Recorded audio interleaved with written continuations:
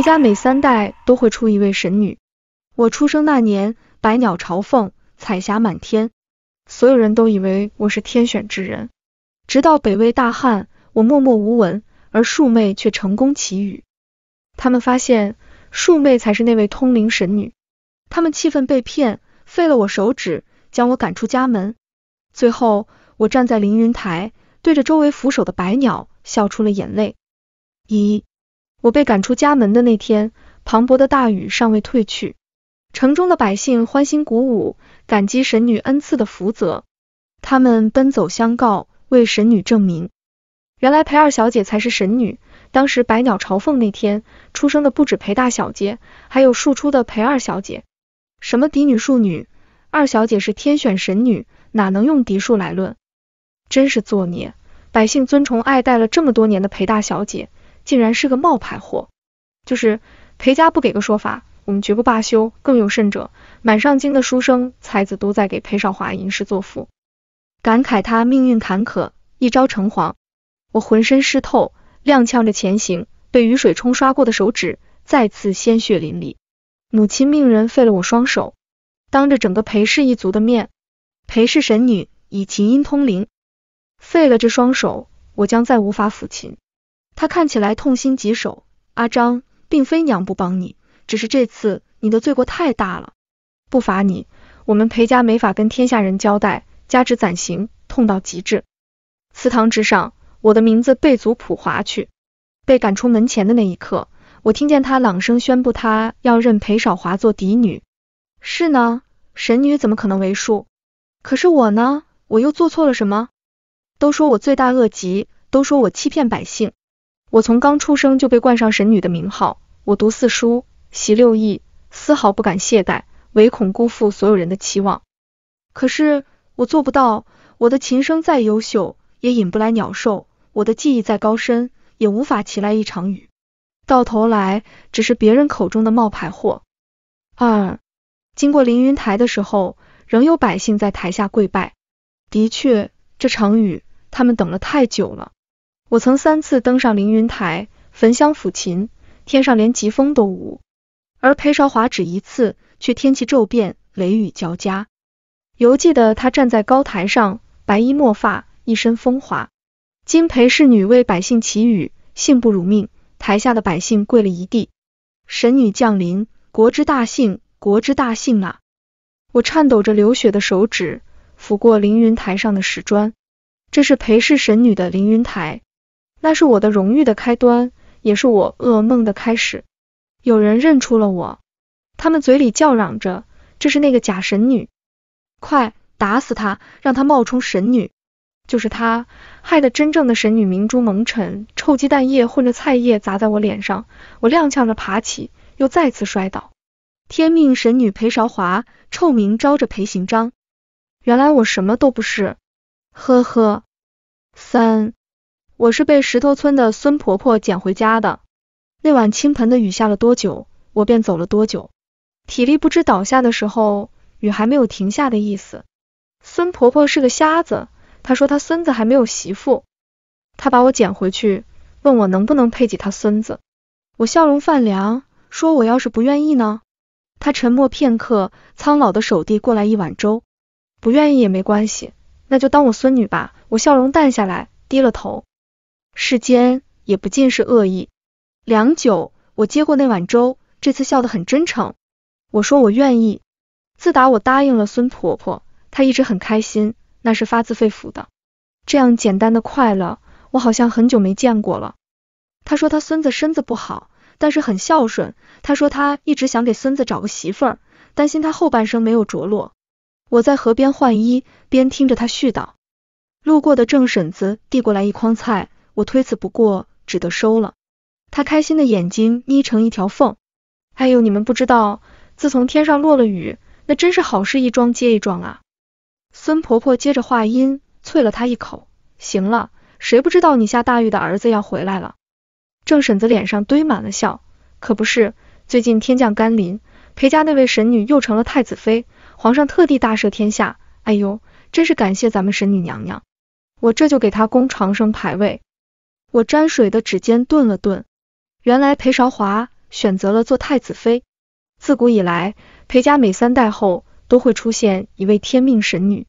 神女通灵，能以音律通万物，为百姓谋生，为苍生祈福。而每一代神女，要么终身不嫁，要么便是做皇后。裴韶华选择做太子妃，那么太子只能是未来的皇帝。四没几日，婆婆说要杀鸡做大菜。她说她出门卖字画的孙子回来了。我心绪无波，笑着回了声好。宋慈进门的那天，我多看了两眼，这样俊秀的青年，倒不似这厢野书生。他张罗着布菜，十多碗筷。对我这个突然冒出来的未婚妻，像是没有任何意义。饭后，孙婆婆将我俩的手交握在一起，笑得合不拢嘴。等我再攒几日银钱，就给你们办婚事。他从香笼里掏出一个玉镯，摸着上面的纹路。丫头，这是我的传家之物，等成亲那天，我就传给你。我点头应了。夜半，我睡不着，起来看月亮。暗光下，宋慈利落的杀了个黑衣人。正嫌弃的擦拭手上沾染的血迹，这已经是我第二次看到这种场景了。我叹了口气，装看不见，转身就走，却被他喊住：“阿张！”我回头，月色落在他脸上，仍是平日里看到的温润柔和，好像刚才狠厉之人不是他一样。我听奶奶这般唤你，没关系吧？我点头，公子，我对你的身份背景没有半点兴趣。也无意与麻烦缠身的公子成婚，所以你当没看见我吧？他侧着头打量我，语调平缓。我重伤之时是孙婆婆救了我，她认错了人，以为我是她孙子。阿张呢？又是何身份？我闭了闭眼，一个无用之人，公子不必在意。五，孙婆婆终究是没有等到我和宋慈成亲，她上山寻药草，被群狼咬死。我和宋慈赶到的时候，只剩残破的躯体，他的手里还死死抓着那枚传家玉镯。宋慈的眸子沉得骇人，他手背的青筋几欲爆裂。保护奶奶的人都死了。我环视了一圈横七竖八的尸体，点了点头。原来这些是保护他的人。这座山从来没有野兽出没。婆婆是药女出身，虽然眼盲，可对药草对这座山也再熟悉不过。他怎么可能会死？除非人为。我望着阴沉的天气，哑了嗓子。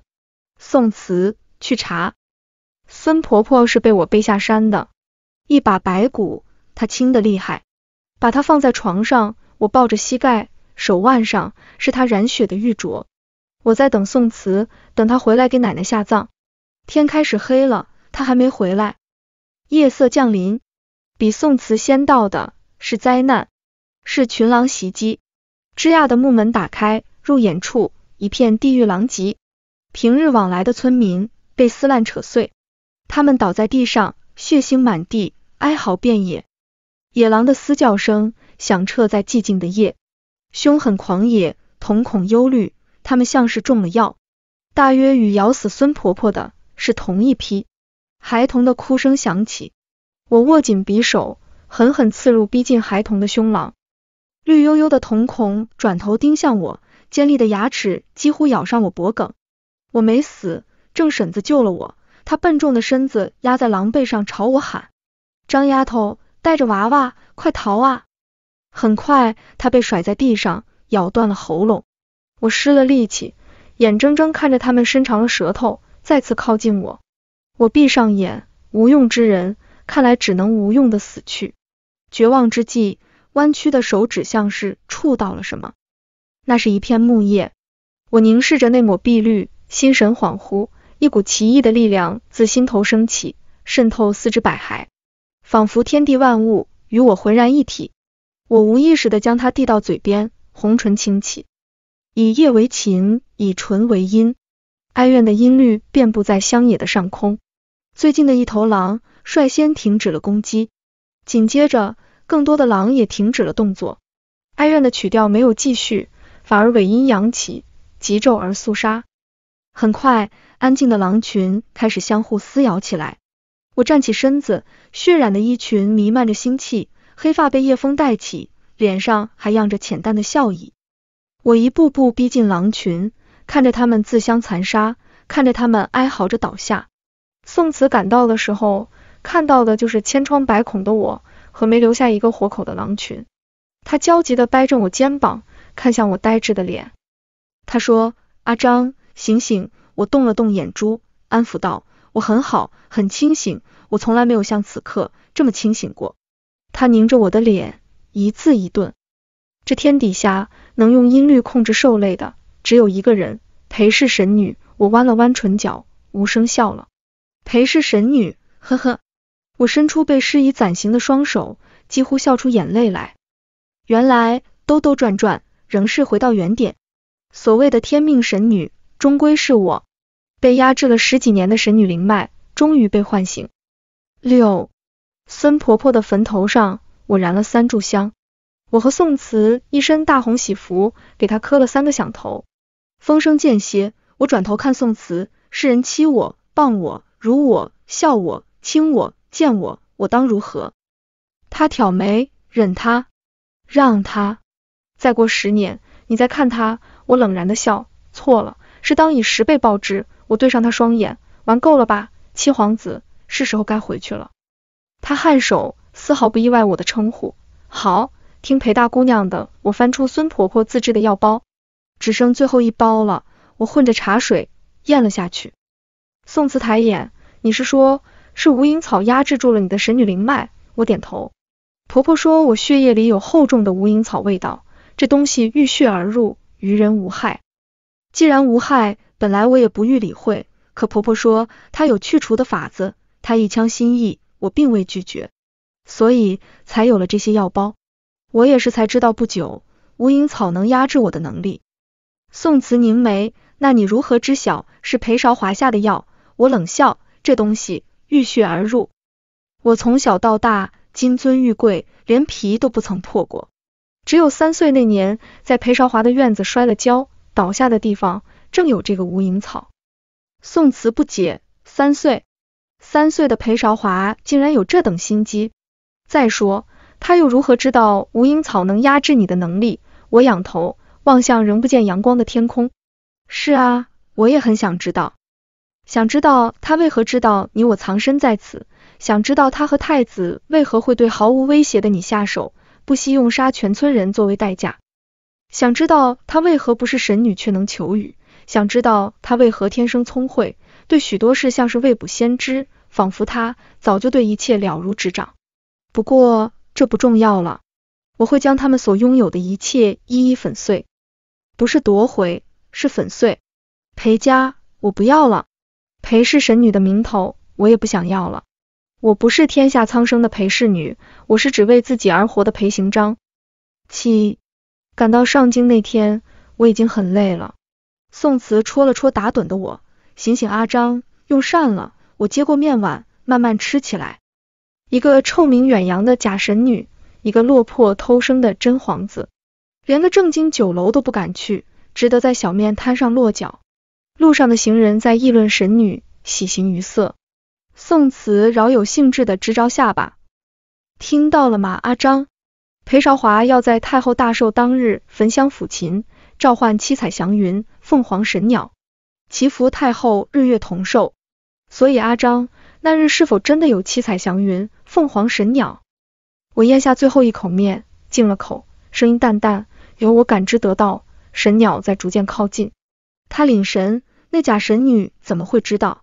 他知道又怎样呢？我勾了勾唇，既然他这么笃定的话，那我就送他一份大礼。他似乎小看了神女的力量。有时候注定的事情也未必注定。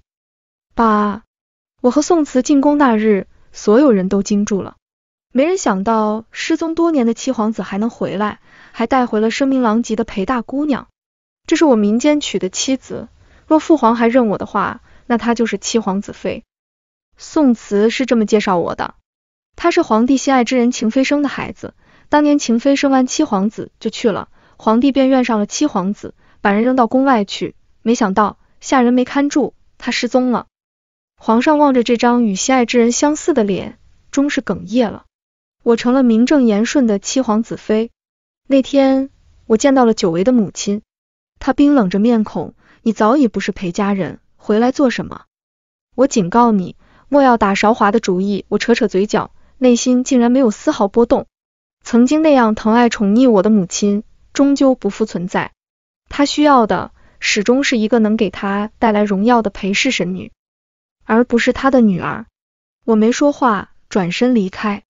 擦肩经过的是裴韶华，她一身绯色轻纱长裙，高贵轻华，再不复往日的素净暗淡。她眉眼细致，柔声唤着母亲。香风漫过，以至于连眼尾都不曾扫我一眼。也是，在他眼里，只怕我早就不值一提。我无声摇头，不再停留。九太后寿辰转眼而至，日光恰到好处，连风都带着温柔。这的确是个极好的天气。一番庆贺之后，众人齐聚凌云寺，重头戏开始了。裴韶华长裙微移，登上凌云台，被隔在外围的百姓开始骚动，激动万分，放声高呼：“神女，神女！”裴韶华唇边含笑，微微抬手，声音戛然止住。他满意的点头，净手焚香，百律无琴。铮的一声，琴声起。逐渐蔓延开来，我立在角落，斜身倚柱，嘴角噙着淡淡的笑意。平心而论，裴韶华琴弹得是不错的，虽然比不得我。琴音婉转，天上白云渐散，逐渐透出几缕彩色的光线来。不止百姓，连王公贵族们也开始仰头望天。很快，光线将云彩分成彩色的绸缎，而远方雀鸟逐渐靠近，隐约间。有凤鸣的声音，太后握紧了婢女的手，双眸放光。我低低一笑，随手折下身侧一片柳叶。无人注意的角落里，曲声渐起，音调不显，曲风却是斜似摄人。也就是一瞬间的功夫，阳光暗淡下来，天狗食月般，彩云逐渐被乌压压的黑云取代，阴风阵阵，开始肆虐在凌云寺的上首。裴韶华浑然不觉，沉浸在自我的光华里。百姓们最先注意到异样，有人咦了一声，却没敢再出声。黄沙卷起落叶，甚至连御前的点心都被风沙带翻。有人不知所措的大喊一声：“这是怎么回事？”裴韶华的长发拍打过脸颊，他终于敛了笑，止了琴音，惊疑不定的抬起头。可惜这只是个开始。很快，大片的乌鸦从西北方飞来，黑压压的一片，紧跟着马蜂。蜘蛛便入众人的视野，为首的太后率先坐了起来，脸色阴沉的厉害。她指向裴韶华，怒的指尖护甲都在发颤。裴侍女，你什么意思？她寿辰当日，竟引来的是乌鸦毒虫，天下百姓该怎么看待她这个太后？裴韶华面色发白，在阴风席卷的凌云台，惊恐的瞪大双眼，抖着嘴唇，不是，不是这样的。他想说，本来该引来的不是这些东西。他想说，他的凤凰神鸟呢？我手抚过柳叶一角，音调渐转低沉。在凌云台站久了，他只怕忘了，他原本是什么也召唤不出来的。不管是神鸟凤凰，或是毒虫凶兽。啊！惨叫声起，只见太后捂着血淋淋的手臂，双目几乎要喷出火来。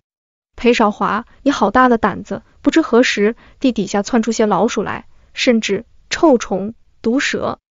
而太后的手臂不远处，正是满嘴血吐着信子的毒蛇。百姓也开始四下逃窜，哪里还顾得上凌云台上的神女？皇帝震怒的挥开衣袖上的臭虫，拍案而起：“裴氏女，朕命你让这一切停下！”裴少华惊慌失措的回过身，差点绊倒在地。他哆嗦着手指，继续抚琴，手法杂乱无章，曲不成曲，调不成调。这一切。没有半分改变，反而黑漆漆的乌鸦开始向他靠近，在他头顶盘旋，沙沙的嘶叫声撕扯着他的耳膜。他终于再也支撑不住，丢下琴，捂着耳朵尖叫着跑下凌云台。可是他们并没有放过他，反成围攻之势，像是要将他咬下一块血肉来，直到他面上渗出血，竟是被灼瞎了一只眼。他吓晕过去了。我把玩着绿叶，声音淡淡。宋慈颔首，不止他，太后还有许多宫妃都晕过去了。我耸了耸肩，示意明白了。音曲再起，鸟兽退散，这场兵荒马乱终于在暗无天日的阴风里收了尾。我转身欲回，被宋慈按住肩膀。葱郁的树木阴影下，他看不出喜怒。为何针对太后？我挑眉，你不喜欢吗？他拧了我片刻，终是一笑，多谢。我知道他母妃的死与太后脱不了干系。我感谢他给了我这个无家可归之人一个能名正言顺站在这座皇宫的身份，所以投桃报李而已。十，要把一个人送进地狱，首先要从把他拉下神坛开始。太后寿辰，让裴韶华声名大跌，那些尊崇信奉他的才子书生们也开始三缄其口，默默烧了曾经引以为豪的诗句。也有些不在现场不敢相信的，神女也是人，她只是犯了一个错而已，你们为什么不能原谅她？有人反驳，这真的是犯错吗？还是说她根本就召唤不出来凤凰神鸟？又或者她根本就不是真正的神女呢？怎么可能？她不是神女，谁是神女？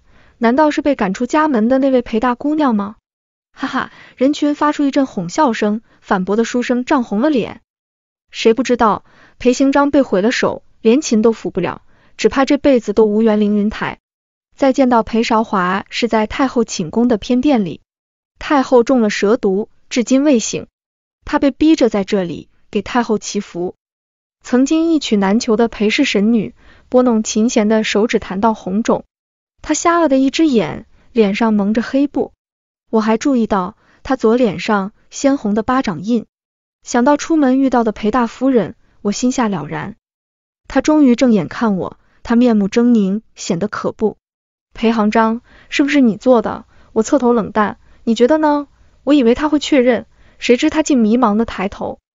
不可能的，书里明明说过，女主感知到凤凰神鸟。这才为太后祈福的。那天明明有凤凰神鸟的，到底为什么会这样？说着像是想起什么，突然抓住我手，指甲狠狠划了上去。我双手不便，一时不察，竟被他划出血来。他嗅了嗅，猛地抬头瞪我：“你体内的无影草呢？你竟然敢把它取出来了！”我眯了眯眼，果然是你。他又像是疑惑的自言自语：“不对呀，女主明明只有感知万物的能力。”根本不可能会控制兽类生灵。书里明明说过，只有初代神女才能呼风唤雨，掌控鸟兽禽虫。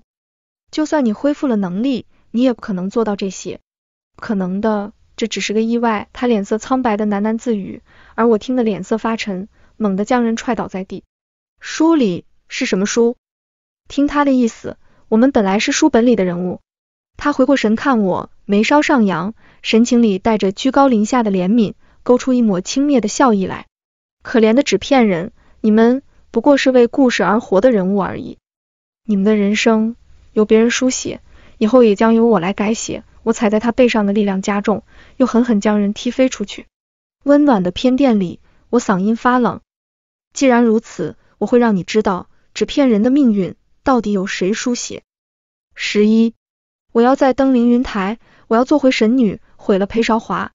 他这个人自视甚高，如今他虽落魄，可按照他对他所说的书的了解，势必会借助神女身份东山再起。只有毁了他所有的依仗，才能彻底摧毁他。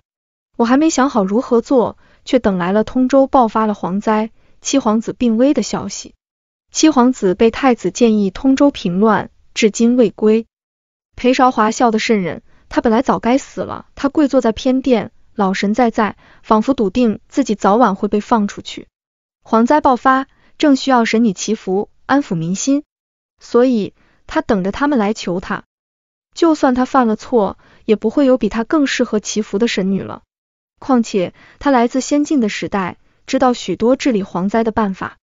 我没理会他的冷嘲热讽，命人备了车前往通州。宋慈，他不能死。越是前往通州。越是蝗虫肆虐，目光所及，寸草不生。路上多的是饿着肚子逃窜的百姓，以及明目张胆的蝗虫。我抬脚碾碎一只，面无表情。宋慈的确病得不轻，他靠在床头，脸色苍白，冲着我笑。这儿蝗灾，你来做什么？我替他把脉。跟着孙婆婆许久，多少学了些医理。见我面色凝重，他抽回手，故作轻松。这么紧张做什么？不过是被刺客伤了心肺，又被这些虫子逼得头疼。眼下你来了，阿张，可否祈雨？蝗虫多爆发于干旱，通州一带极少落雨。上次落雨还是在裴少华凌云台祈雨那日。我摇了摇头，祈雨需天时地利，这一带只怕难以成功。想起什么？我看向他，你可用了火？蝗虫怕火，可焚烧之。他颔首，不过他们也不是傻子，逃得快，难以除尽。若是有办法将他们聚在一起便好了。思索片刻，我灿然一笑，我有法子。十二，通州开始坟墓点火，空旷的土地，烈火炎炎，在烧死了一批蝗虫之后，再无进展。我立在不远处，木叶极纯，悠扬的曲调响起。飘荡在空中，原本在火焰外围的蝗虫，仿佛不受控制一般，被迫进入火堆，燃烧殆尽。没多久，更多大片的蝗虫被迫飞来，卷入火苗。帐篷里，宋慈站了出来，他身边的侍从激动不已，含着热泪：“太好了，大家有救了！”逐渐飞过来的，除了密密麻麻的蝗虫，还有闻风赶来的百姓。他们瞪大了双眼，望向这从未见过的场景。毁了他们庄稼的，他们头疼至极的蝗虫，飞蛾扑火一般走向灭亡。为首的老人突然双腿发软，跪在了地上，嘴里念叨着：“神女，这是神女。”其他人不解，不是老爷子？听说神女犯了错，被关在皇宫呢。老爷子颤抖着手指伸向我，声音都带着激动：“不是的，神女在这里，这才是神女。老祖宗的手札记载过。”裴氏神女能用音律操控生灵，宫里那个怎样我不知道，可是她能引蝗虫扑火，她才是真正的神女呀！神女她来救我们了。这些人都是再朴实不过的百姓，哪里知道宫里那些龌龊？他们相信眼见为实。无数的百姓跪了下来，他们双目放光，尊崇兴奋，趴在地上不住地磕头。神女娘娘万岁！天佑通州，天佑百姓啊！我捏着木叶的手指发紧。曲调却是沉稳，这熟悉的仰慕爱戴，我已许久未见了。他们或许曾无知，可他们也最是真实。一如石头村里那些朴实的百姓，他们或许会为了一碗水而吵闹，却也能豁出性命救一个人。十三，直到过了一天一夜，我才歇了音，嘴唇都开始泛干。宋慈适时的递来一杯水，润润嗓子吧。我带来的药草派上了用场，他身子好了许多。他凝着我，淡淡的欢喜。阿张，你来寻我助我，我很开心。我别过头，淡淡的嗯了一声。我明白他的意思，只可惜我无法回应。通州一事到底传到了上京，皇帝下旨命七皇子、七皇子妃回宫，立即出发。我不解，怎么这么急？他失笑，宫里那位假神女出事了。进了宫，我才知道裴韶华到底做了什么蠢事。蝗灾爆发，甚至波及了上京。他竟在凌云台上大放厥词，让百姓捉蝗虫烤来吃，说是既美味充饥，又能震慑蝗虫。结果许多百姓吃坏了肚子，中毒不醒。尤其是在裴韶华出事后，仍将他奉若神明的书生才子吃的更多，自然也最严重。凌云台上丢满了烂菜叶，百姓们怨声载道。什么神女？又是招乌鸦，又是蝗虫的，如今连老百姓都要被害死了，这神女要来何用？不是神女没用，这位裴二小姐只怕不是真正的神女。我也听说了，只怕通州那位用音律引蝗虫扑火的姑娘才是真神女。通州那位姑娘是谁？提起的书生默了片刻，方开口，是被废了双手赶出家门的裴大姑娘裴行章。所有人都沉默了。那个曾被他们丢过臭鸡蛋，甚至恨不得去踩两脚的裴行章啊！所以是他们自己把真正的神女给赶走了，是他们自己自作自受。有汉子咬了牙，一狠心，我不管，我要去求裴大姑娘，我去负荆请罪，是我有眼不识泰山，认错了神女，我去请神女降罪，求她救救我的夫人。其他人也红了眼，我也去求神女，求她原谅，救救我的孩子。十四。皇帝与我说这些的时候，愁的头发都白了。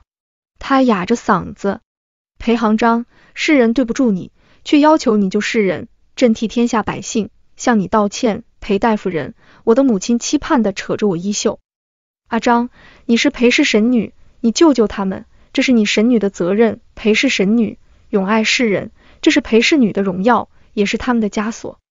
我抬了眼皮，安静的看他。夫人忘了，我早已不是裴氏女，又谈何神女？更何况我这双手早已抚不了琴，琴音通灵，只有琴声才能让祈福事半功倍，而我的夜曲只会大打折扣。他愣住，哆嗦着唇，说不出话来。帝王叹了口气：“你母亲错了，这不是你的责任，这是你的仁慈。神女，朕不为难你。”御花园里，我碰到疯癫的裴韶华，他被人压制，早已没了神女的尊崇和太子妃的高贵。他死死的盯着我，毒蛇一样的恨。你竟然能用音律驾驭生灵，你竟然能！书里的你明明不是这样的，你嫁给了太子，做了皇后，明明那个爱情故事里，你是历代神女能力最弱的一个。你有感知之能，我知道故事的走向，明明我能取代你的，明明你们这些纸片人。在我眼里不过是蝼蚁，到底为什么？为什么会这样？他尝试正来禁锢扑向我，却被死死拦住。他没理会他的发疯，转身离去。他不知道无影草能隐藏神女灵脉，也能使凤凰涅槃。说来我还要谢谢他。柳树下，我蒙着面纱，枯坐了许久。来往的行人，或嬉笑，或伤神，或行色匆匆。一个小伙子递过来一枝桃花，脸上堆着笑。姑娘，这花送给你。我望着他，凝眉思索，这面相好生眼熟。他自顾自念叨着：“我姓郑，老家石头村的。之前因为意外伤人下过狱，本来想回家找老娘，结果他被狼咬死了。我这无依无靠的，就又回了上京。我捏着桃枝，心头发紧。这是郑婶子的儿子。”仿佛广阔的天地在我面前豁然开朗，我心中有了决断。蝗虫灾害，百姓皆惧。裴韶华的说法传到外面，无数百姓跟风吃了蝗虫。蝗虫之毒，常人难解。太医院，天下神医齐聚，也不能看出一二。我叹了口气，这么大面积，这么多数量，只怕已非人力所能解决之事，除非动用神力。想了想。我翻出尘封许久的伏羲琴，我要召唤凤凰神鸟。十五，宋慈制止了我。你的手用了奶奶的药，再养上一年就能恢复。现在动琴就好不了了。我仰头看他，我心意已决，像是察觉到我的坚决，他不再说话，默默抽回盖在琴上的手。神女要在三日后召唤凤凰神鸟，祈福救人的消息很快传遍天下，人们奔走相告。凌云台下早早聚集了外地赶来的病人，他们或者昏睡，或疼痛抽搐，只求神女恩泽。三日后天不亮，整个凌云寺便被人填满。有人迟疑，这次不会又是什么毒虫老鼠吧？应该不会，这次是真神女裴大姑娘。我一身素衣，抱琴而来，在万众瞩目中登上凌云台。我能召唤神鸟，却不知能不能救他们。只能尽力一试，也有可能失败，再次遗臭万年。净手焚香，手指触及琴弦的刹那，心下一阵强烈的波动。我已经许久未抚琴了，我弹的是苍生无泪，曲声哀伤，闻者落泪。这首曲子讲的是兴百姓苦，亡百姓苦，弹的是流离失所，弹的是众生皆苦。愿上神怜悯。拯救世人。凌云台下一片沉寂，止于呼痛声以及落泪声。霞光突破白云，有彩色的光线透过来。不等彩云漫天，便传来凤凰鸟的声声鸣叫，动听悦耳，给陷入悲伤的人群带来新的希望。金色的羽毛逐渐浮现在凌云台上空之时，所有人都跪了下来。这是金凤，他们低头跪拜，激动的身子发颤。这是凤凰神鸟啊！多少人从未见过的吉兆。我的手指开始发疼，朝着凤凰鸟微微一笑，换了曲调。这次欢喜高亢，闻者欣喜。隐隐听见一声叹息，疼的话可以弹慢些。琴声一滞，看向台下，没有什么异常。复又抬头看向神鸟，他也在看着我。是我的声音，你既已涅槃，自然可以与我对话。裴侍女，我知道你的意思了。这个世界被异世之人搅得一团乱，你想救人，是也不是？我琴音不止，点了点头。这是神力，你这个神女自然也要付出代价，你可愿意？什么代价？十年寿命，神女自古以来都是短命，去掉十年寿命，那所剩不多了。我没做思索，点了点头。我愿意。他抖了抖翅膀，飞至凌云台，与我对视了片刻，终是叹息一声。这本是那些百姓的劫难，你愿意化解，我成全你。紧跟着一声长鸣嘶啸，翱翔而去。我指了琴，视线落在他离去的天空，久久不语，直到台下冲天的呼唤声震醒了我。夫人，你醒了？呜呜呜，真是太好了。丫头，你不疼了吗？真的好了吗？天呐，感谢凤凰神鸟，感谢神女，他们搂着失而复得的亲人，喜极而泣，再次跪拜于我。这次是真心实意。神女娘娘长命百岁。我无声的笑了笑。我与这天下两清。十六，台下裴大夫人拦住了我，他脸色很差。阿张，跟娘回家好不好？我摇了摇头。他退了一步，自嘲的笑。我知道你怨我，可是我能怎么办呢？明明这也不是我一个人的错。我沉默。的确，当所有人都错了，那他们就不算错，错的只能是我。我终究没有再踏进裴府一步。而于裴氏而言，没有神女的裴氏一族什么都不是。次日，裴韶华被赐死。没多久，太子起兵谋反，他的太子妃罪过深重，他娶了假神女。自然也不能再做皇帝，他选择了孤注一掷，可惜被七皇子发现，当场绞杀。一时间，立七皇子为新太子的声音传遍朝野。离开京城的那天，宋慈来送我，他黑眸幽深，你想好了，真要走？我点点头，谢谢你与我假成婚，如今一切结束，我只想做回自己。他伸出手，将我拢入怀中，抱得很紧，我没有动，任他抱着。良久，他才松开，语调哽咽：“阿张，我知道的，你是个很好的人，从来都很好很好。”我笑着推开他。宋词：山高水长，有缘再见。背上包袱和行囊，从今以后，我只做属于自己的裴行章。